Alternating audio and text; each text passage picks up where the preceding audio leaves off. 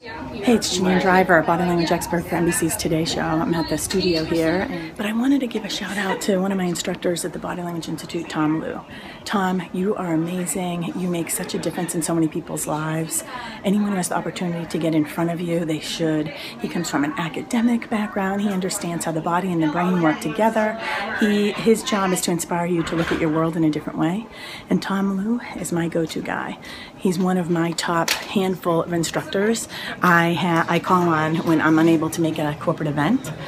It's Tom Leu. So if you have an opportunity to bring Tom Leu into your company or to do some one-on-one training or small group training with Tom, be sure to do that. If you have the opportunity to get in front of him and take one of his body language and detecting deception classes, you've got to do it. Get in front of Tom Leu. Tom, you're the best. Thanks for being one of my instructors at the Body Language Institute, buddy.